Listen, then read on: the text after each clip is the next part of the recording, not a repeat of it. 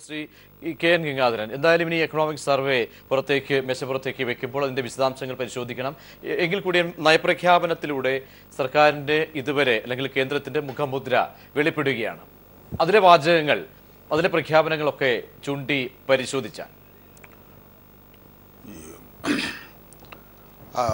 അപ്രതീക്ഷിതമോ അല്ലെങ്കിൽ ഏറെ ആഹ്ലാദിക്കത്തക്കതോ ആയിട്ടുള്ള കാര്യങ്ങളൊന്നും ഈ നയപ്രഖ്യാപന പ്രസംഗത്തിൽ എനിക്ക് കാണാൻ കഴിഞ്ഞില്ല. ഏത് നയപ്രഖ്യാപന പ്രസംഗത്തിനും ഒരു കൃത്യമായിട്ടുള്ളൊരു ചട്ടക്കൂടുണ്ട്. അത് പ്രധാനമായും സർക്കാരിന്റെ പ്രവർത്തനങ്ങളെ ഒന്നുകൂടി ജനങ്ങളുടെ മുമ്പിൽ കൊണ്ടുവരിക എന്നുള്ളതാണ് ഒരു ലക്ഷ്യം. അതോടൊപ്പം തന്നെ ഭാവിയിലെ ഭാവിയെ സംബന്ധിച്ച് ചില കൃത്യമായ ദിശാസൂചനകൾ നൽകുക എന്നുള്ളതും സാധാരണ പ്രസിഡന്റിന്റെ നയപ്രഖ്യാപന പ്രസംഗത്തിന്റെ അവിഭാജ്യ ഭാഗങ്ങളാണ്. ഇന്ന് രാജ്യം അഭികരിക്കുന്ന ഏറ്റവും പ്രധാനപ്പെട്ട പ്രശ്നം നോട്ട് നിരോധനം ഉയർത്തിയ വെല്ലുവിളികളും അങ്കലാപ്പുകളുമാണ്. അതിനെ സംബന്ധിച്ച് കൃത്യമായ പരാമർശങ്ങൾ ഈ ഇന്ത്യൻ പ്രസിഡന്റിന്റെ വളരെ പ്രധാനപ്പെട്ട ഈ നയപ്രഖ്യാപനത്തിൽ ഇല്ല എന്നുള്ളതാണ് ചൂണ്ടിക്കാണിക്കാനുള്ളൊരു കാര്യം. പ്രധാനമന്ത്രി നിരന്തരമായി പറഞ്ഞുകൊണ്ടിരുന്നൊരു കാര്യം ജനങ്ങൾ ഈ നോട്ട് നിരോധനത്തെ പൂർണമായും പിന്തുണച്ചുവെന്നാണ് അതുതന്നെയാണ് പ്രസിഡന്റിന്റെ വാക്കുകളിലും പ്രതിഫലിക്കുന്നത്. അതിനപ്പുറം ഇതിന്റെ നേട്ടങ്ങൾ കോട്ടങ്ങൾ സംബന്ധിച്ചുള്ള എന്തെങ്കിലും സൂചനകൾ നൽകാൻ അദ്ദേഹത്തിന് കഴിഞ്ഞിട്ടില്ല. കള്ളപ്പണം നിയന്ത്രിക്കാൻ നിയന്ത്രിക്കുക ഭീകരവാദം തടുക്കുക കള്ളനോട്ട് നിയന്ത്രിക്കുക തുടങ്ങിയിട്ടുള്ള ലക്ഷ്യങ്ങളാണല്ലോ മുന്നോട്ട് വെച്ചത്.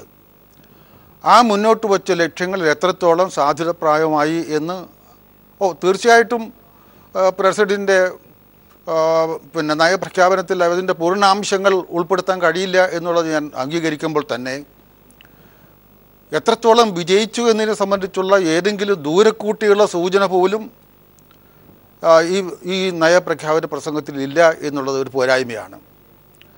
അതേപോലെ പണരഹിത വ്യവസ്ഥ ക്യാഷ്ലെസ് സമ്പദ് വ്യവസ്ഥ അതിലേക്കുള്ള അത് ആ വഴിയിലേക്കാണ് ഇന്ത്യ മുന്നോട്ട് പോകുന്നത് എന്ന് അദ്ദേഹം പറയേണ്ടതായിട്ടുണ്ട് അത് ഈ നോട്ട് നിരോധനം ഏറെക്കുറെ പരാജയപ്പെട്ട സാഹചര്യത്തിൽ ഗവൺമെന്റ് മുന്നോട്ട് വച്ച ഒരു പ്രത്യേക നിർദ്ദേശമാണ്. അതിന്റെ ഗുണഭോക്താക്കൾ ആരാണ് എന്നതിനെക്കുറിച്ച് ഇന്നിപ്പോൾ എല്ലാവർക്കും കൃത്യമായിട്ടുള്ള ധാരണയുണ്ട്. വൻകിട പിന്നെ ബഹുരാഷ്ട്ര കുത്തക കമ്പനികളാണ് ഈ പ്ലാസ്റ്റിക് നോട്ടുകളുടെ നിർമ്മാതാക്കൾ. പിന്നെ ഡെബിറ്റ് കാർഡും അതുപോലെ ക്രെഡിറ്റ് കാർഡും തുടങ്ങിയിട്ടുള്ളവയെല്ലാം ഉണ്ടാക്കുന്നതും വിൽക്കുന്നതും അവരാണ്. അവർക്കാണ് ഇതിന്റെ പ്രയോജനം എന്ന് പ്രത്യേകിച്ച് പറയേണ്ടതില്ല. മാത്രമല്ല ഇന്ത്യയെപ്പോലൊരു രാജ്യത്ത് ബഹുഭൂരിപക്ഷം കൊടുക്കൽ വാങ്ങലുകളും ഇപ്പോഴും പണത്തിന്റെ അടിസ്ഥാനത്തിൽ പ്രത്യേകിച്ചും ഇന്ത്യ വ്യാവസായികമായി വളർന്ന ഒരു രാജ്യമല്ല. ഇപ്പോഴും കാർഷിക പ്രധാനമാണ് ഇവിടുത്തെ ഉൽപ്പാദനം അതുകൊണ്ട് ഇരുപത്തെട്ട് ശതമാനം ദേശീയ വരുമാനത്തിന്റെ ഇരുപത്തെട്ട് ശതമാനം ഇപ്പോഴും സംഭാവന ചെയ്യുന്നത് കൃഷിയാണ്. അതുപോലെ ചെറുകിട ഇടത്തരം വ്യവസായങ്ങൾ അസംഘടിത മേഖല തൊഴിലെടുക്കുന്ന ജനങ്ങളിൽ തൊണ്ണൂറ്റിമൂന്ന് ശതമാനവും അസംഘടിത മേഖലയുമായി ബന്ധപ്പെട്ടാണ് തൊഴിലെടുക്കുന്നത്. അവർക്ക് കൂലി കിട്ടുന്നതും കൂലി കൊടുക്കപ്പെടുന്നതും അവർ സാധനങ്ങൾ വാങ്ങുന്നതും വിൽക്കുന്നതും എല്ലാം കൃത്യമായി പണം ഉപയോഗിച്ചാണ്. അതിന് ചെറിയ കറൻസികൾ പോരാ. കാരണം വിലക്കയറ്റം ഉള്ളത് കൊണ്ട് അഞ്ഞൂറിന്റെയും ആയിരത്തിന്റെയും കറൻസികളാണ് വ്യാപകമായി ഉപയോഗിക്കപ്പെടുന്നത്. അതുകൊണ്ടാണല്ലോ അത് പിൻവലിച്ചപ്പോൾ തന്നെ എൺപത്താറ് ശതമാനം കറൻസികളും പിന്നെ പുറ പുറത്താക്കപ്പെട്ടത്. യെസ് യെസ് ഞാൻ മടങ്ങിയ ഞാൻ താങ്കളിലേക്ക് മടങ്ങിയെത്താം വ്യക്തമായൊരു ദിശ ഇക്കാര്യത്തിൽ നയപ്രഖ്യാപനത്തിലൂടെ മനസ്സിലാക്കാൻ കഴിയുന്നില്ല എന്ന് തന്നെയാണ് അദ്ദേഹത്തിന് അദ്ദേഹവും പറയുന്നത്.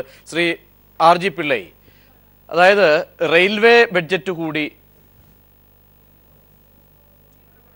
റെയിൽവേ ബഡ്ജറ്റ് കൂടി ഉൾപ്പെടുത്തി സംയുക്തമായി വരികയാണ് പൊതു ബഡ്ജറ്റും റെയിൽവേ ബഡ്ജറ്റ് കൂടി. റെയിൽവേ മേഖലയൊക്കെ തന്നെ നവീകരിച്ചുകൊണ്ട് പുതിയ പദ്ധതികളിലേക്കൊക്കെ തന്നെ കടക്കാനുള്ള സാധ്യതകൾ എത്രത്തോളമാണ്? കേരളമടക്കം പ്രതീക്ഷയോടുകൂടി എല്ലാ തവണയും നമ്മുടെ പ്രതീക്ഷകൾ പക്ഷേ പതിവ് പല്ലവി ആവർത്തിക്കുന്ന നിരാശയോടെ മടങ്ങേണ്ടി വരുന്ന സാഹചര്യം. ഇത്തരത്തിലൊക്കെ നോക്കുമ്പോൾ റെയിൽവേ മേഖലയിൽ നവീകരിച്ചുകൊണ്ട് കൂടുതൽ ആളുകളെ റെയിൽവേയിലേക്ക് ആകർഷിക്കുക അതേസമയം വരുമാനം കൂട്ടുകയും അധിക ഭാരം ജനങ്ങളിലേക്ക് കൊണ്ടുപോകാതെയുള്ള നടപടികൾ ഉണ്ടാകുമെന്ന് പ്രതീക്ഷിക്കാമോ? എന്താണ് പുതിയ പൊതു ബഡ്ജറ്റിനോടൊപ്പം ചേർക്കപ്പെടുന്ന റെയിൽവേ ബഡ്ജറ്റിലൂടെ നമ്മൾക്കൊരു പക്ഷേ പ്രതീക്ഷിക്കേണ്ട ഘടകങ്ങൾ?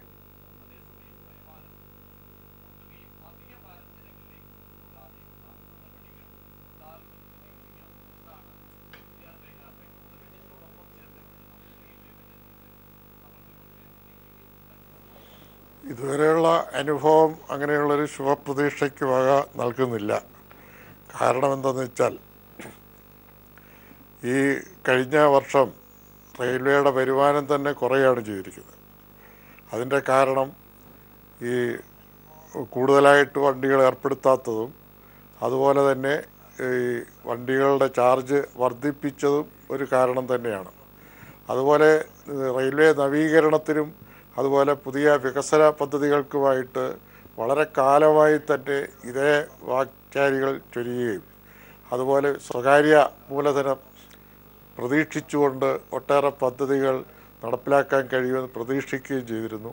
എന്നാൽ അങ്ങനെ യാതൊരു തരത്തിലും സ്വകാര്യ മൂലധനം റെയിൽവേയിൽ നിക്ഷേപിക്കാൻ തയ്യാറായിട്ടില്ല. പിന്നെ വിദേശ നിക്ഷേപത്തിനുള്ള എല്ലാ നൂറ് ശതമാനം വിദേശ നിക്ഷേപം അനുവദിച്ചു. ആ പദ്ധതിയിലും ഒരു എൻജിൻ ഫാക്ടറിയും ഒരു ഡീസൽ ഷെഡിന്റെയും ധാരണാപത്രം ഒപ്പിട്ടതൊഴിച്ച് മറ്റ് കാര്യമായ നിക്ഷേപം ഉണ്ടായിട്ടില്ല.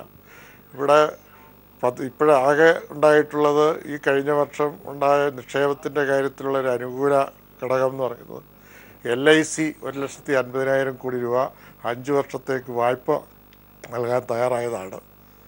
അതിന്റെ ഭാഗമായിട്ട് മാത്രമാണ് കുറച്ചെങ്കിലും പദ്ധതിയായിട്ട് മുന്നോട്ട് പോകാൻ കഴിഞ്ഞിട്ടുള്ളത്. ബഡ്ജറ്റ് സഹായം വെട്ടിക്കുറയ്ക്കുകയാണ് ചെയ്തത്.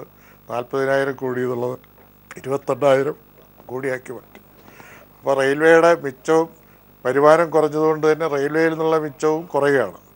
ഈ സാഹചര്യത്തിൽ ഗവൺമെന്റ് ഒരു സ്റ്റിമുലസ് പാക്കേജ് എന്നുള്ള നിലയിലോ മറ്റേതെങ്കിലും തരത്തിലോ നല്ല തോതിലുള്ള ലക്ഷ ഒരു ലക്ഷം കോടിയെങ്കിലും റെയിൽവേയിൽ നിക്ഷേപിക്കാൻ ഗവൺമെന്റ് നടത്താതെ റെയിൽവേയുടെ പുരോഗതി സാധ്യമല്ല. ആ നിലയിലുള്ള പദ്ധതികളൊന്നും പ്രതീക്ഷിക്കാൻ ഇന്നത്തെ സാഹചര്യത്തിൽ സാധ്യത കുറവാണ്. അതുപോലെ തന്നെ ചാർജ് വർദ്ധിപ്പിക്കും. ജനങ്ങളുടെ മേൽ കൂടുതൽ ചാർജ് ഇപ്പം തന്നെ വർദ്ധിപ്പിച്ചുകൊണ്ടിരിക്കുകയാണ്. സർജ് പ്രൈസസ് എന്ന് പറഞ്ഞുകൊണ്ട് ഓരോ പത്ത് പത്ത് ശതമാനത്തിനും ചാർജ് വർദ്ധിപ്പിച്ചുകൊണ്ട് ഇന്ന് സാധാരണക്കാരന്റെ അടക്കം യാത്രക്കൂലി വർദ്ധിപ്പിക്കുന്ന സ്ഥിതിയാണ് ഉണ്ടായിട്ടുള്ളത്. അതുപോലെ പുതിയ അതോറിറ്റിയൊക്കെ വരുമ്പോൾ ലാഭ ആയിട്ട് ഇത് നടത്തുന്നതിന് വേണ്ടിയിട്ടുള്ള കൂടുതൽ ചാർജ് വർധനമാണ് പ്രത്യേകിച്ച് സാധാരണക്കാരന് റെയിൽവേയിൽ ഇത് പ്രതീക്ഷിക്കാനുള്ളത്. കേരളത്തിൽ ആയാലും അതുപോലെ ഇന്ത്യയിലൊട്ടാകെ ആയാലും ഈ റെയിൽവേ പദ്ധതി എന്ന് പറഞ്ഞാൽ കാലാകാലങ്ങളായിട്ട് അതിനുള്ള നിക്ഷേപം നടത്താത്തതുകൊണ്ടുള്ള വലിയൊരു പ്രതിസന്ധിയാണ് ഇത് നേരിടുന്നത്. ആ പ്രതിസന്ധി പരിഹരിക്കാനുള്ള ക്രിയാത്മകമായ നിർദ്ദേശങ്ങൾ ഇനി ഉണ്ടാകേണ്ടതായിട്ടാണ് ഇരിക്കുന്നത്. എവിടെ ലോകത്തെവിടെയുള്ള അനുഭവം? വെച്ചുകൊണ്ട് റെയിൽവേ അടിസ്ഥാന സൗകര്യങ്ങൾക്ക് വേണ്ടിയുള്ള നിക്ഷേപം ഗവൺമെന്റ് നടത്തുകയല്ലാതെ മറ്റു മാർഗമില്ല ഒരിടത്തും സ്വകാര്യ മൂലധനം അതിന് താല്പര്യത്തോടുകൂടി മുന്നോട്ട് വന്നിട്ടില്ല.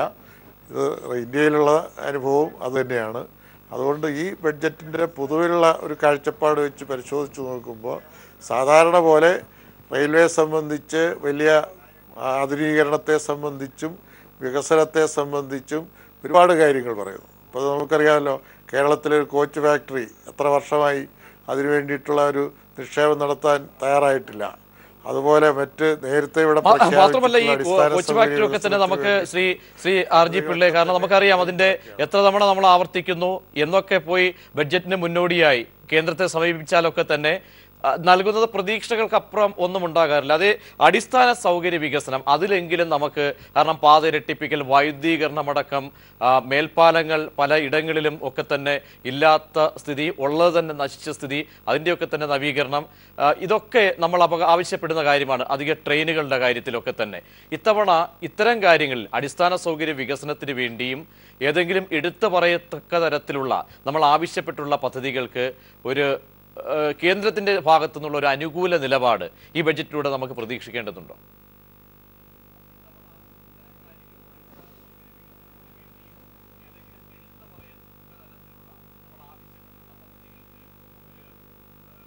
Shri R G Pillai. ഇപ്പോഴേ ഇതിന് ഇതിനകത്ത് വരുന്നൊരു പ്രധാനമായിട്ടുള്ള പ്രശ്നം ഈ അടിസ്ഥാന സൗകര്യ വികസനത്തിനുൾപ്പെടെ ഇപ്പോൾ സ്റ്റേറ്റ് ഗവൺമെന്റുകളുമായിട്ട് പങ്കാളിത്തത്തോടുകൂടി ചെയ്യാം എന്നുള്ളതാണ് പുതിയ സ്പെഷ്യൽ പർപ്പസ് വെഹിക്കിൾ ഇപ്പോൾ രൂപീകരിച്ചിട്ടുണ്ട്. പക്ഷേ എത്രമാത്രം ഇന്നത്തെ സാമ്പത്തിക സ്ഥിതിയിൽ സംസ്ഥാന ഗവൺമെന്റിന് ഇതിനകത്ത് മുതൽ മുടക്കാൻ കഴിയും?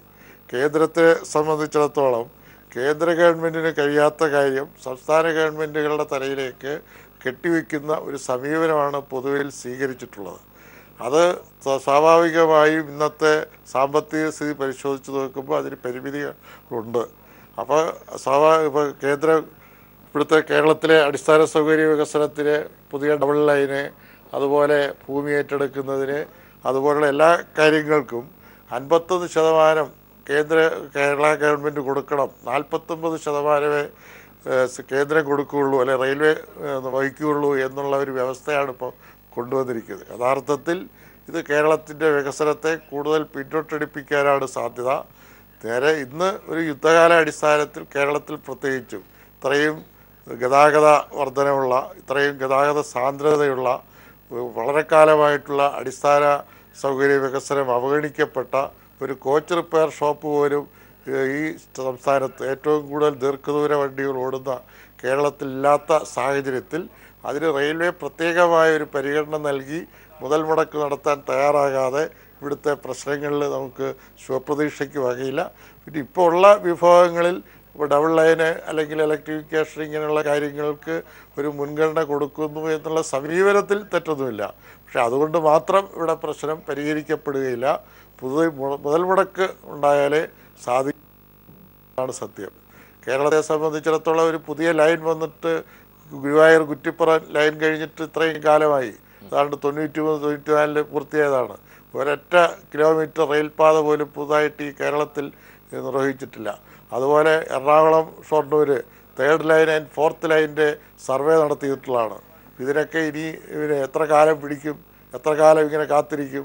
അതുപോലെ ഗുരുവായൂർ കുറ്റിപ്പുറ അങ്ങനെയുള്ള ഒരുപാട് പുതിയ ലൈനുകൾക്ക് വേണ്ടിയിട്ടുള്ള ദശ പിന്നെ ഏതാണ്ട് ഒരു അര നൂറ്റാണ്ട് കാലമായിട്ട് കാത്തിരിക്കുന്ന ലൈനുകൾ. നരഞ്ചങ്കോട് പിന്നെ നിലമ്പൂർ. അതുപോലെ പാണത്തൂർ ഇങ്ങനെ ഒരുപാട് സാങ്ഷൻ ചെയ്ത ഇന്ന് റെയിൽവേ കഴിഞ്ഞ ബഡ്ജറ്റുകളിൽ സാങ്ഷൻ ചെയ്ത പദ്ധതികൾ അതെല്ലാം അടിസ്ഥാന സൗകര്യമായിട്ട് ബന്ധപ്പെട്ട് തന്നെയാണ്. അത് പൂർത്തീകരിക്കാനുള്ള ഒരു അടിയന്തര ശ്രദ്ധ പതിപ്പിച്ചുകൊണ്ടുള്ള വകയിരുത്തലുണ്ടാകണം എന്നുള്ളതാണ് ഇന്ന് ഏറ്റവും പ്രശ്നം. അതുണ്ടാകുന്നില്ല അതിന് ഉള്ള പൈസ അലോട്ട് ചെയ്യുന്നതിൽ ഇപ്പോൾ ഡബിളിങ്ങിന് മുൻഗണന നൽകുന്നു എന്നുള്ളത് കൊണ്ട് മാത്രം ഇവിടുത്തെ പുതിയ ഈ പ്രശ്നങ്ങൾ റെയിൽവേ യാത്രക്കാരുടെ പ്രശ്നങ്ങളോ ജനങ്ങളുടെ പ്രശ്നങ്ങളോ പരിഹരിക്കപ്പെടുന്നില്ല.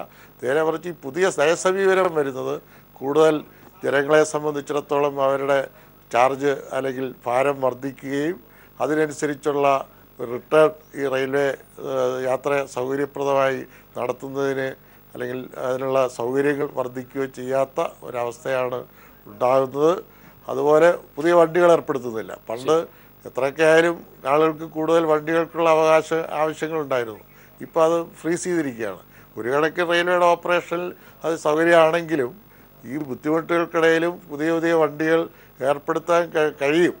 അത് അതിനെ സംബന്ധിച്ചിടത്തോളമുള്ള ചില ചില്ലറ നീക്കുപോക്കുകൾ അടിസ്ഥാന സൗകര്യങ്ങളുടെ കാര്യത്തിലോ മറ്റു നടത്തിയാൽ മതി.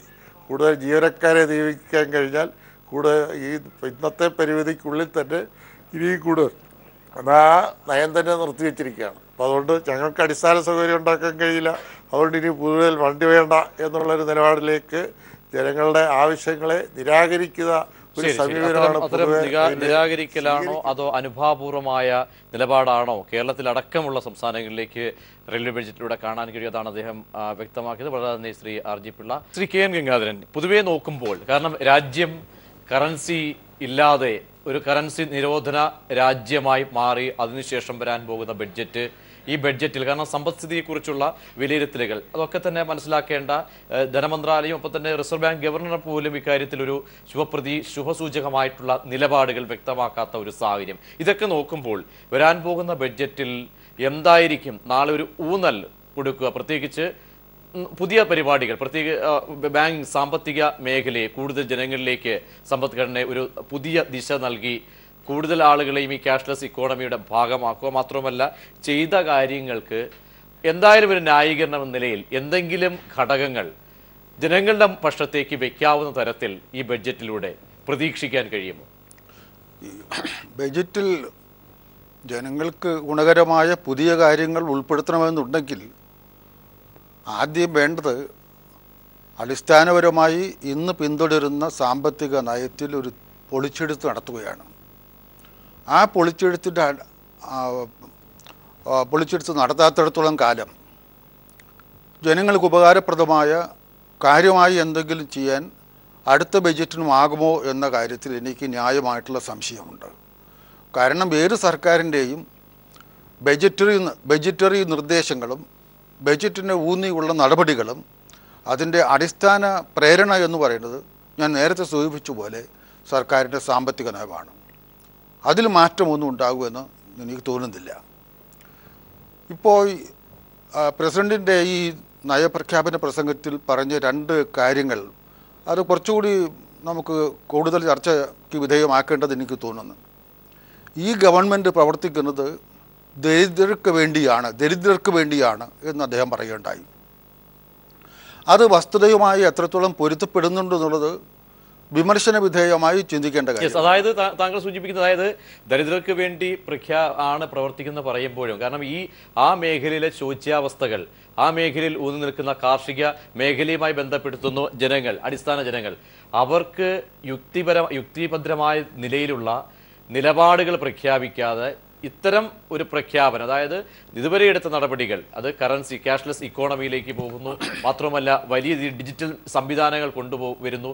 ഇതും ഈ പ്രഖ്യാപനവുമായി വലിയ അന്തരം വൈരുദ്ധ്യമുണ്ട്. തീർച്ചയായിട്ടും. താങ്കൾ സൂചിപ്പിച്ച പോലെ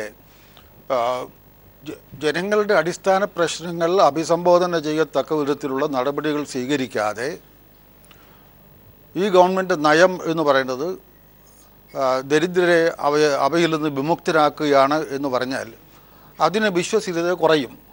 മാത്രമല്ല സർക്കാർ ഇതുവരെ പിന്തുടർന്നു പോന്നിട്ടുള്ള നയങ്ങളെല്ലാം ഏതെടുത്ത് പരിശോധിച്ചാലും അത് വിശദമായിട്ടുള്ള പരിശോധനയ്ക്കുള്ളൊരു അവസരം അല്ലല്ലോ ഇപ്പോൾ. ഏത് പരിശോധിച്ചാലും കോർപ്പറേറ്റ് പ്രീണനമാണ് ഈ ഗവൺമെന്റ് മുഖമുദ്ര എന്ന് ഏത് കൊച്ചുകുട്ടിക്കും അറിയാവുന്ന കാര്യമാണ്. അതുകൊണ്ട് ആ പ്രസ്താവന മുഖവിലേക്ക് എടുക്കേണ്ട കാര്യമുണ്ടെന്ന് എനിക്ക് തോന്നുന്നില്ല. അതുപോലെ മറ്റൊരു കാര്യം ഗവൺമെന്റിന് പിന്നെ വിലക്കയറ്റം നിയന്ത്രിക്കാനായി എന്ന് പറയുന്നു. എന്തുകൊണ്ടാണ് സാധന വിലകളെ അല്പമെങ്കിലും പിടിച്ചു നിർത്താൻ കഴിഞ്ഞത് എന്ന് ചോദിച്ചാൽ അത് ഗവൺമെന്റ് കഴിവായിട്ട് ഞാൻ കരുതുന്നില്ല. കാരണം അന്താരാഷ്ട്ര തലത്തിൽ ക്രൂഡ് ഓയിലിന്റെ വില അത് ഗണ്യമായി ഇടിഞ്ഞൊരു ഘടകമാണ്. അതിന് നമ്മൾ കടപ്പെട്ടിട്ടുള്ളത് ഗവൺമെന്റിനോടല്ല ഒപ്പക്ക് രാജ്യങ്ങളോടാണ്. Organisation of petroleum exporting countries എന്ന് പറയുന്ന ആ ഒപ്പക് രാജ്യങ്ങളുടെ കൂട്ടായ്മ. അവരാണ് ഉൽപ്പാദനം വർദ്ധിപ്പിക്കാൻ തീരുമാനിച്ചത്. അതുപോലെ തന്നെ അമേരിക്കയിലെ ഷെയിൽ ഗ്യാസിന്റെ ഉൽപാദനം കൂട്ടിയതും ഇത് രണ്ടും ക്രൂഡ് ഓയിലിന്റെ വില ഗണ്യമായി ഇടിക്കാൻ കാരണമായിട്ടുണ്ട്. ഇന്നിപ്പോൾ ക്രൂഡ് ഓയിലിന്റെ പിന്നെ വില എന്ന് പറയുന്നത് പിന്നെ അമ്പത്തിയെട്ടോ അമ്പ- അമ്പത്തഞ്ചോ ഡോളറാണ്. ഇതിനേക്കാൾ എത്രയോ ഉയർന്നു നിൽക്കുകയായിരുന്നു മുൻ- വർഷങ്ങൾ മുൻകാലങ്ങളിലെല്ലാം എന്ന് നമുക്ക് ക- ഓർക്കാൻ കഴിയും. അപ്പോൾ ഇതിനെ അടിസ്ഥാനപ്പെടുത്തിയാണ് ഒരുപാട് ഉൽപ്പന്നങ്ങളുടെ വില നിർണയിക്കപ്പെടുന്നത്. അതൊരു ഘടകം. കഴിഞ്ഞ കൊല്ലം താരതമ്യേന മെച്ചപ്പെട്ട മഴ ലഭിച്ചു. ഏറെക്കുറെ ഇന്ത്യയിലൊട്ടാകെ. അതിന്റെ ഫലമായി കാർഷിക ഉൽപ്പാദനം പ്രത്യേകിച്ച് ഭക്ഷ്യധാന്യങ്ങൾ ഉൽപ്പാദനത്തിൽ വർധനയുണ്ടായി. ഈ രണ്ട് ഘടകങ്ങൾക്കും നേരിട്ട് സർക്കാരിന് എന്തെങ്കിലും ഉത്തരവാദിത്വമുണ്ടെന്ന് ആരും അവകാശപ്പെടും എന്ന് തോന്നുന്നില്ല അപ്പോൾ സർക്കാരിന്റെ നിയന്ത്രണത്തിന് അതീതമായിട്ടുള്ള ഘടകങ്ങളാൽ സ്വാധീനിക്കപ്പെട്ട വില നിയന്ത്രണമാണ് ഇപ്പോൾ നടപ്പിലാക്കിയിട്ടുള്ളത്. അതുകൊണ്ട് ആ പ്രസ്താവനയിൽ എന്തെങ്കിലും കാര്യമായിട്ടുള്ള ഉണ്ടെന്ന് ഞാൻ കരുതുന്നില്ല. അതുപോലെ തൊഴിലവസരങ്ങൾ വർദ്ധിപ്പിക്കുന്നതിന് വേണ്ടി. ഇപ്പോൾ പ്രസിഡന്റിന്റെ നയപ്രഖ്യാപനത്തിൽ പറഞ്ഞൊരു കാര്യം പ്രത്യേകിച്ചും സ്ത്രീകളുടെ തൊഴിലവസരങ്ങൾ വർദ്ധിപ്പിക്കുന്നതിന് വേണ്ടി ആറായിരം കോടി രൂപ നൽകിയെന്ന ചിലവാക്കി നൽകിയെന്നാണ്. ഇത് വളരെ തുച്ഛമായിട്ടുള്ള തുകയാണ്. തൊഴിലവസരങ്ങൾ ഇത്രയേറെ തൊഴിലില്ലായ്മ അതിരൂക്ഷമായ തൊഴിലില്ലായ്മ ഉണ്ടായിക്കൊണ്ടിരിക്കുന്ന ഇന്ത്യയെ പോലെ രാജ്യത്ത് തൊഴിലില്ലായ്മ പരിഹരിക്കാൻ വേണ്ടി ആറായിരം കോടി രൂപ ചിലവാക്കപ്പെട്ടു എന്ന് പറഞ്ഞാൽ അതിന്റെ തീർച്ചയായിട്ടും അത് ഒരു നല്ല ഫലം കൃത്യമായിട്ടുള്ള ഫലം ഉണ്ടാക്കുന്ന ഒന്നാണ് എനിക്ക് തോന്നിയിട്ടില്ല പിന്നെ ബാങ്കിങ് മേഖലയിലേക്ക് ഒരുപാട് പേരെ ജനങ്ങളെ കൂടുതൽ പേരെ കൊണ്ടുവന്നു എന്ന് പറയുന്നു ഇപ്പോൾ നമുക്ക് ജൻധൻ ഇതുണ്ടല്ലോ ഈ പിന്നെ എന്താ ഞാൻ പറയുക ഈ.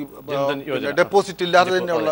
അക്കൗണ്ട് തുടങ്ങൽ ആ പദ്ധതി കീഴിൽ ഇരുപത്താറ് കോടി പിന്നെ അക്കൗണ്ടുകൾ തുടങ്ങിയെന്നാണ് അത് ആ അക്കൗണ്ടിൽ ഭൂരിഭാഗവും സീറോ അക്കൗണ്ടുകളായിരുന്നു. സീറോ അക്കൗണ്ടുകൾ വെച്ചുകൊണ്ട് സമയക്കുറവുണ്ട് ഇടപെടേണ്ടി വരുന്നു ഡോക്ടർ കെ എൻ ഗംഗാധരൻ ആണ് കാര്യങ്ങൾ വിശകലനം ചെയ്തത്. ഒപ്പം തന്നെ ആർ ആർ പിള്ള കാര്യങ്ങൾ വ്യക്തമാക്കി റെയിൽവേ മേഖലയിൽ നിന്നുള്ള കാര്യങ്ങൾ.